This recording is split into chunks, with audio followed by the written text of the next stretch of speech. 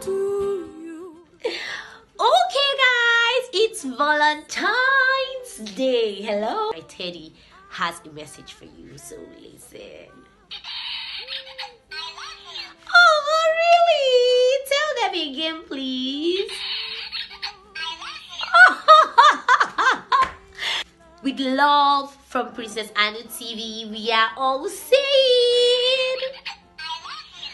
Guys, stay tuned and make sure you enjoy your day. Make sure you have fun. The best of the best of the best of the best,